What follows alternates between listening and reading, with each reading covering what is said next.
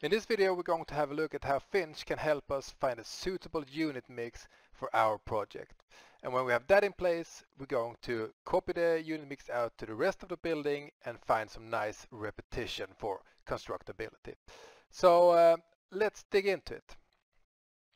So this is the project. It's a highly irregular shape. Uh, the mass is already set and if we go in and have a look at one of the stories, we also already have a core. So the assignment for today in this video is to generate units around the core that fits this shape and, and uh, produce a nice mix here. Before we get started, I might show you that the core consists of stairs, elevator, corridors, and the corridor part is very important because when we start generating units, it's important that all of the units are accessible through the corridor so you don't end up in, in the stairs or the elevator. But uh, let's go.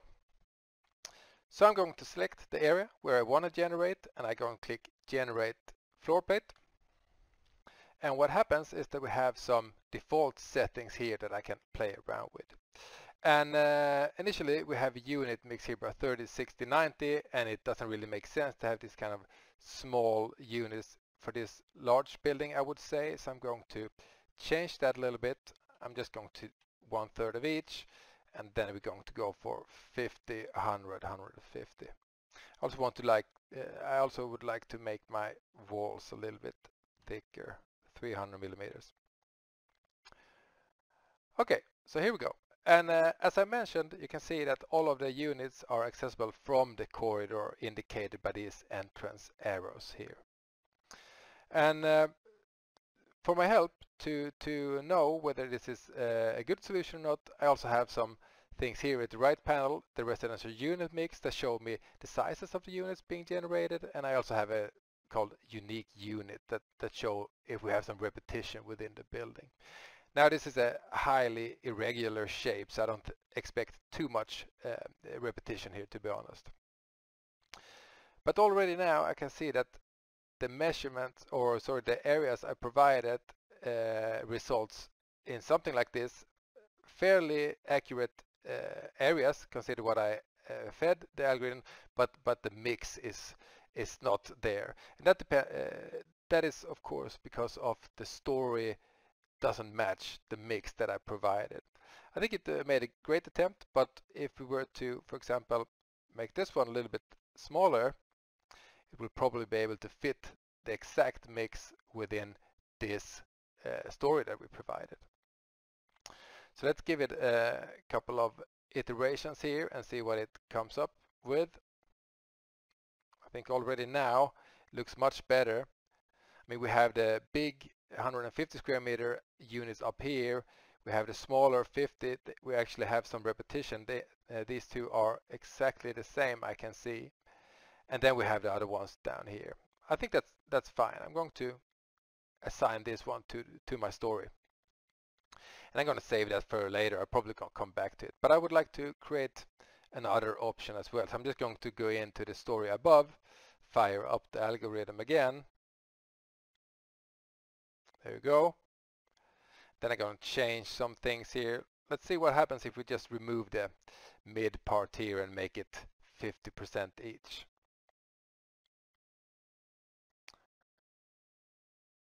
As you can see, the algorithm works its way with different solutions here. Getting the small ones down here is a little bit crowded and also has a little bit of hard time fitting 150 square meters. So let's let's change the numbers a little bit, see.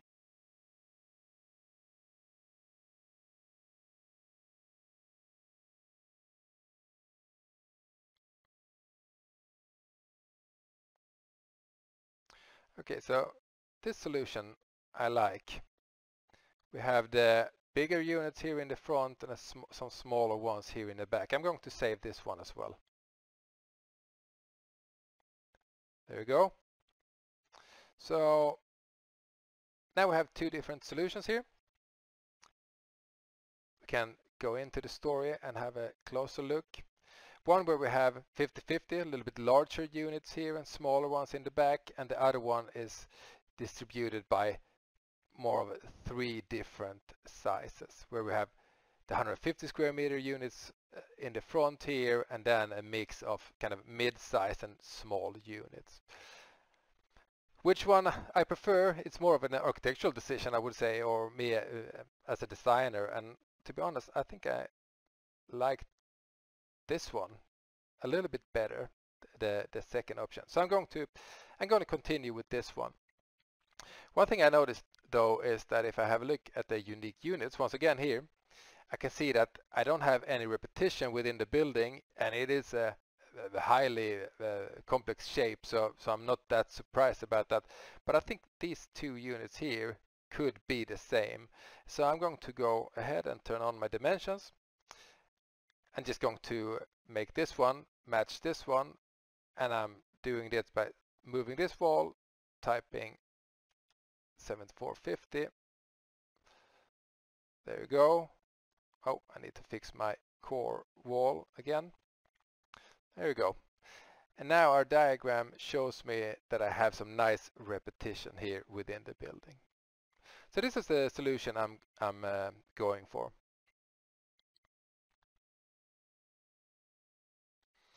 And within a couple of minutes here, I evaluated a lot of different options. Finch presented me with, with uh, some uh, different alternatives and helped me be, be creative here. So I'm going to fine tune this one a little bit. 128, 129, maybe I'll move this one as well. Let's make it nice and even. There you go. And now we're going to repeat this uh, within the building here. So which one was it? It was, this was the one we went for. I'm actually going to copy this one to the this story because when we're going to fill the entire building here I'm especially interested in the relationship between these kind of stories where the where the design of the building or the design of the whole story change a little bit. I'm going to remove these ones. This is the one I'm going to be working with. So what I'm going to do here is I'm simply going to go into this one. Going to copy everything into this story as well. Then I'm going to assign residential project uh, program to it. There we go. And I'm going to open my unique unit panel. As you can see, we have some nice repetition between these two stories, especially here in the back. But um, since the building is changing, of course, these ones will not be unique. But we're also going, going higher and higher up in the building where you usually have bigger apartments. I'm actually going to go into this one and remove this wall and have a look at my design again. There we go. So fewer unique units. We actually just have six of them uh, right now. Very nice with repetition. And how does the residential unit mix look? Looks nice as well. So the next step is to uh, copy this one out to the different stories. And I simply click Control C, Control V, and I'm going to do the same thing here, Control C, Control V. There we go.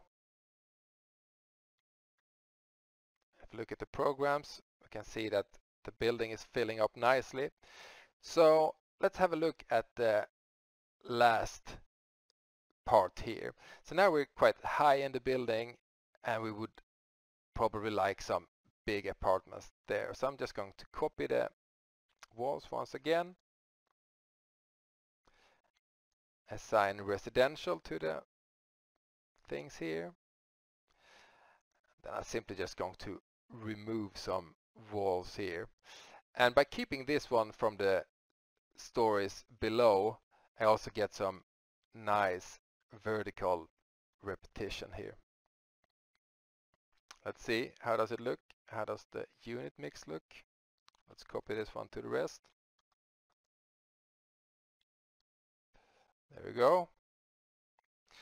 So as you can see, we have now bigger apartment here at the top, a little bit smaller down here. And we also, if we have a look at the unique units, we also have some nice repetition going here.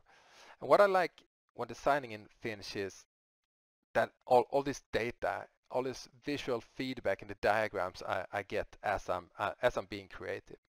And here at the top, actually, we're just going to select these ones and add penthouses up here.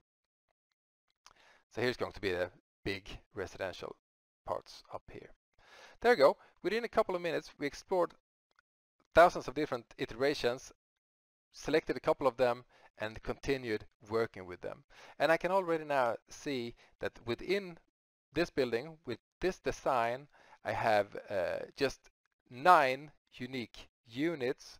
I can see that the residential mix, most of them um, is, is uh, or a big chunk at least, is here between 120 and 160. We have some small ones around 50 square meters, and then we have some really, really big ones here as well. So uh, this is how you use Finch to find a nice unit mix, copy it to the rest of the project, work with it, edit it, uh, edit it to get it exactly how you want it. And as I mentioned here earlier on, we also have some nice repetition for constructability. Hope you enjoyed the video. See ya!